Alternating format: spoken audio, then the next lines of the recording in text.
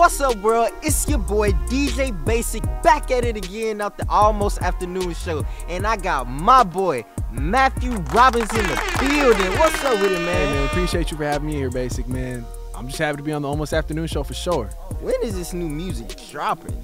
March 4th, Basic. March 4th. Baby. Oh, so y'all heard it here first, folks. March 4th got that new Mathew Robbins coming to you. Now, let's hear what the fans have to say. Caller number one, speak your piece.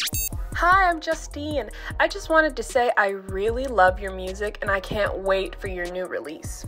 Hey man, appreciate you, Justine. Thank you for the love and support. Caller number two, what's happening?